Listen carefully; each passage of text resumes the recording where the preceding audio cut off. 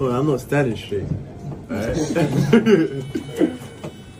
I seen the highlights of that game. I was good. Terrible. You wasn't, bro. I was better than you. I blocked him. I blocked him like Wait, three times.